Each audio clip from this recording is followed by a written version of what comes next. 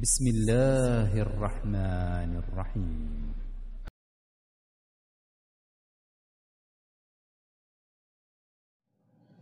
السلام عليكم ورحمة الله وبركاته الحمد لله والصلاة والسلام على رسول الله وعلى آله وأصحابه أجمعين أما بعد പ്രിയപ്പെട്ട സഹോദരന്മാരെ സഹോദരിമാരെ നമ്മൾ കഴിഞ്ഞ ദർസിൽ സൂചിപ്പിച്ചിരുന്നത് നമ്മുടെ എൽമുൽ അഖീദയുമായി ബന്ധപ്പെട്ട കാര്യങ്ങളാണ്. പ്രധാനമായും രണ്ട് കാര്യങ്ങളാണ് എൽമുൽ അക്കീദ കൈകാര്യം ചെയ്യുന്നത്. ഒന്ന് അർക്കാനുൽ ഈമാൻ നമ്മുടെ ഈമാൻ കാര്യങ്ങൾ. അതിൽ ആറ് കാര്യങ്ങളാണ് എൽമുൽ അഖീദ നമ്മൾ ചർച്ച ചെയ്യുന്നത്. രണ്ടാമത് ഉമുൽ ഹക്കാത്തുഹു ആ അർക്കാനുൽ ഈമാനുമായി ബന്ധപ്പെട്ട കാര്യങ്ങൾ. അതിൽ നമ്മൾ മൂന്ന് കാര്യങ്ങൾ എണ്ണി. ഒന്നാമത്തത് നമ്മുടെ അൽ അസ്മാ അൽ അഹ്കാം നമ്മുടെ അക്കീദുമായി ബന്ധപ്പെട്ട് വരുന്ന പേരുകളും അതിന്റെ ഹുക്കുമുകളും നമ്മൾ കഴിഞ്ഞ ദർശനം സൂചിപ്പിച്ചു. രണ്ടാമതായി അസ് അസ്വഹാബ സ്വഹാബാക്കൾ. അവർ നമ്മുടെ അക്കീദ് എന്താണെന്ന് കാര്യം നമുക്ക് കഴിഞ്ഞ ക്ലാസ്സിൽ സൂചിപ്പിക്കുകയുണ്ടായി മൂന്നാമതായി ഒലമാക്ക് രേഖപ്പെടുത്തിയത് അൽ ഇമാമത്തുൽ ഉദുമ ഒരു രാജ്യത്തിന്റെ രാഷ്ട്ര തലവൻ ഇസ്ലാമിക രാജ്യത്തിന്റെ. അതുമായി ബന്ധപ്പെട്ട വിധിവിലക്കുകളും നിയമങ്ങളും.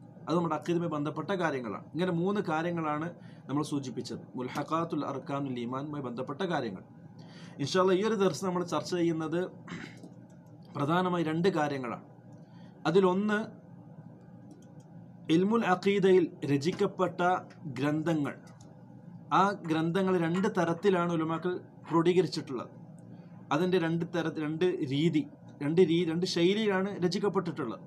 അതിന്റെ ശൈലിയും അതുപോലെ തന്നെ നമ്മുടെ അഹ്ലുസുന്നത്ത് വൽ ജമാഅത്തിന്റെ നമ്മൾ നേരത്തെ പറഞ്ഞ ഈ കാര്യങ്ങൾ നേരത്തെ പറഞ്ഞ അഹ്ലുസുന്നത്തിന്റെ ആ അഖീദ ആ നിലപാട് ആ നിലപാടിൽ നിന്നും വ്യത്യസ്തമായി പിഴച്ചുപോയി അതിൽ നിന്നും വ്യതിരിക്തമായിക്കൊണ്ടുള്ള അഭിപ്രായങ്ങൾ പറയുകയും അത് വിശ്വസിക്കുകയും അംഗീകരിക്കുകയും ചെയ്തുകൊണ്ട് അഹ്ലുസുന്നത്തിന്റെ നിലപാടിൽ നിന്നും പുറത്തു പോയിട്ടുള്ള പിഴച്ച കക്ഷികൾ അതിൽ ഏറ്റവും പ്രധാനപ്പെട്ട കക്ഷികളുടെ പേരുകളാണ് നിഷാ അല്ല ഈ ഒരു ദർശനം നമ്മൾ സൂചിപ്പിക്കാൻ ആഗ്രഹിക്കുന്നത്. ഒരുപാട് വിശാലമായിട്ട് ഓരോ വിഭാഗത്തിനെ ചർച്ച സംബന്ധിച്ച് പഠിക്കാനുണ്ട്. എങ്കിലും ഈ ഒരു ആമുഖത്തിൽ ചുരുങ്ങി അവരുടെ പ്രധാനപ്പെട്ട ചില കക്ഷികൾ മാത്രമാണ് നമ്മൾ സൂചിപ്പിക്കുന്നത്. റസൂലുള്ളാഹി സല്ലാഹു അലഹി വസ്ല്ല പറഞ്ഞല്ലോ എന്റെ ഉമ്മത്ത് എഴുപതോളം കക്ഷികളായി പിരിയുമെന്ന്. അതിൽ ഒരു വിഭാഗം മാത്രമാണ് സ്വർഗത്തിലേക്ക് പോകുന്നത്. റസൂലുള്ളാഹി സല്ലല്ലാഹു അലഹി വസ്ലം ആ ഒരു വിഭാഗത്തെ വിശേഷിപ്പിച്ചത് റസൂലുള്ളാഹി സല്ലാഹു അലഹി വസ്ലമ തങ്ങളും സഹാബത്തും ഏതൊരു അക്കീതയിലും ഏതൊരു നിലപാടാണ് സ്വീകരിച്ചിട്ടുള്ളത് ആ നിലപാടിൽ മുറുകെ പിടിച്ച് ജീവിക്കുന്നവർ മാത്രമാണ് അഹ്ലുസുന്നത്തി വൽ ജമാ എന്ന പേരിൽ അറിയപ്പെടുകയും അവരാണ് സ്വർഗത്തിന്റെ അവകാശികളും എന്ന് റസൂലുള്ളാഹി സല്ലാഹു അലഹി വസ്ലമ പഠിപ്പി പഠിപ്പിച്ചു തരികയുണ്ടായി ആ പ്രധാനപ്പെട്ട പിഴച്ചുപോയ കക്ഷിയുടെ പേര് മാത്രമാണ് നമ്മൾ സൂചിപ്പിക്കുന്നത്.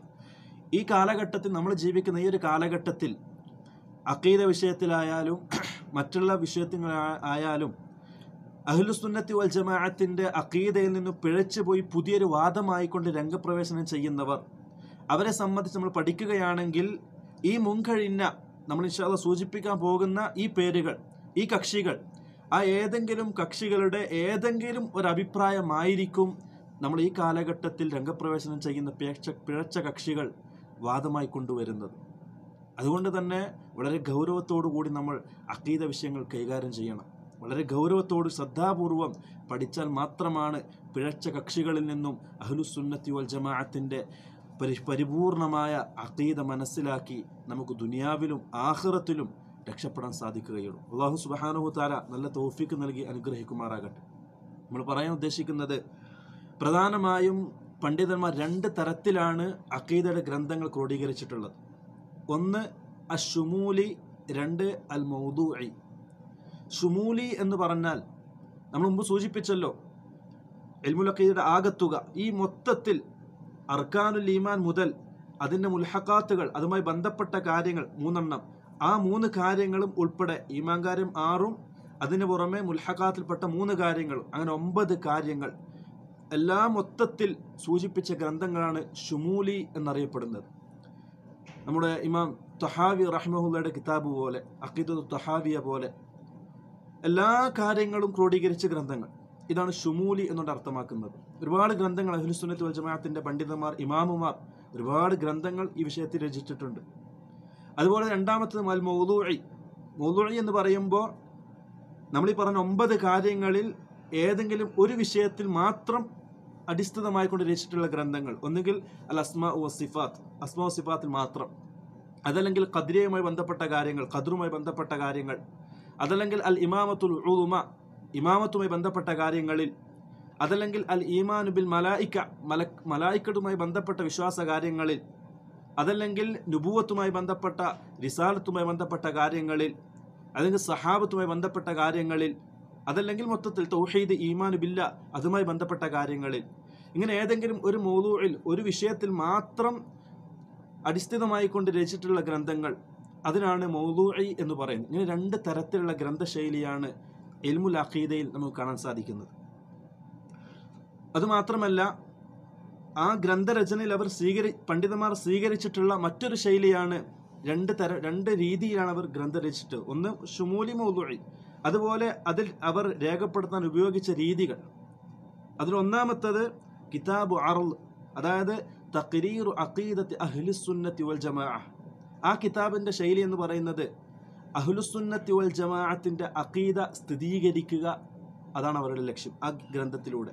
കിതാബ് നമ്മുടെ കിതാബ് തൗഹീദ് പോലെ അതുപോലെ അഖീദ് വാസിത്തിയ പോലെ അതുപോലെ അഖീദ് തൊഹാവിയ പോലെ അതായത് അഹ്ലുസുന്നത്തി വൽ ജമാഅത്തിന്റെ അഖീദ അത് സ്ഥിരപ്പെടുത്തുക എന്ന ലക്ഷ്യത്തോടു കൂടി രചിക്കപ്പെടുന്ന ഗ്രന്ഥങ്ങൾ. അതാണ് കിതാബ് അറൾ എന്ന് പറയുന്നത്. അഖീദ അഖീദയുടെ എൽമുൽ അഖീദയുടെ ഗ്രന്ഥ രചനയിൽ പണ്ഡിതന്മാർ സ്വീകരിച്ച ശൈലിയാണ്.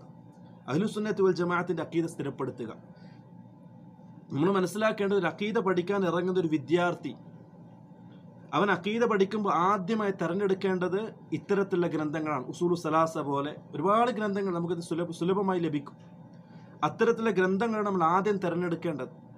കാരണം നമ്മുടെ അഹിലുസുന്നത്തി വൽ ജമാഅത്തിന്റെ അഖീദ മനസ്സിൽ ഉറപ്പിച്ച് അതിൽ പരിപൂർണ വിശ്വാസം നേടി എന്നിട്ട് വേണം നമ്മൾ മറ്റുള്ള വിഷയത്തിലേക്ക് കടക്കാൻ. ഇതാണ് ഒരു ത്വാലിബുൽ ഇൽം ഒരു ഇൽമു പഠിക്കുന്നവൻ അഖീദ പഠിക്കാൻ ആഗ്രഹിച്ച് മുന്നോട്ട് ഇറങ്ങുന്നവൻ ആദ്യം ചെയ്യേണ്ടത് കിതാബ് അറും അഹ്ലുസുന്നത്തി വൽ ജമാഅത്തിന്റെ അഖീദ സ്ഥിരപ്പെടുത്തുന്ന ഗ്രന്ഥങ്ങളായിരിക്കണം ആദ്യം പഠിക്കേണ്ടത്. ഇതാണ് ഒന്നാമത്തെ കാര്യം. രണ്ടാമത്തെ രീതി പണ്ഡിതന്മാർ സ്വീകരിച്ചിട്ടുള്ളത് കിതാബു നഖ് കിതാബു നഖ് എന്ന് പറയുന്നത് അറദ്ദു അലൽ മുൻകിർ. അഹ്ലുസുന്നത്തി വൽ ജമാഅത്തിന്റെ അഖീദ അതിന്റെ വിഷയങ്ങൾ അതിൽ വ്യതിലിച്ചു പോയിട്ടുള്ള വ്യത്യസ്ത അഭിപ്രായം കൊണ്ട് രംഗപ്രവേശം ചെയ്തിട്ടുള്ള പിഴച്ച കക്ഷികൾ അവരുടെ വാദങ്ങൾ എടുക്കുകയും ആ വാദത്തിന് മറുപടിയായിക്കൊണ്ട് ഗ്രന്ഥങ്ങൾ രചിക്കുകയും ചെയ്തിട്ടുള്ള രീതി. ഈ രണ്ട് രീതികളാണ് അക്കീദ നമുക്ക് കാണാൻ സാധിക്കുന്നത്. ഒരുപാട് ഗ്രന്ഥങ്ങൾ ഈ വിഷയം നമുക്ക് കാണാൻ സാധിക്കും. കദ്രിയുമായി ബന്ധപ്പെട്ട കാര്യങ്ങൾ അതുപോലെ തന്നെ ഒരു ഒട്ടനവധി ഗ്രന്ഥങ്ങൾ അവർക്ക് മറുപടിയാകുകയും അതുപോലെ നമ്മുടെ അഹ്ലു അഹ്ലുസുല്ലത്തിൽ ജമാഅ അക്കീദ സ്ഥിരീകരിച്ച് അതിനെ എതിർക്കുന്നവർക്ക് മറുപടിയായിക്കൊണ്ട് പണ്ട് രേഖ രേഖപ്പെടുത്തിയ ഗ്രന്ഥങ്ങൾ നമുക്ക് കാണാൻ സാധിക്കും. ഇതാണ് നമ്മൾ ഇന്നത്തെ ദർസിൽ സൂചിപ്പിക്കാൻ ആഗ്രഹിച്ചത്. അള്ളാഹു സുബാനഹു താല കാര്യങ്ങൾ പഠിക്കാനും മനസ്സിലാക്കാനും നല്ല തോഫീഖ് നൽകി അനുഗ്രഹിക്കുമാറാകട്ടെ. അസ്സാം വലൈക്കും വാഹമത്തല്ലാഹി വാബർക്കാത്തു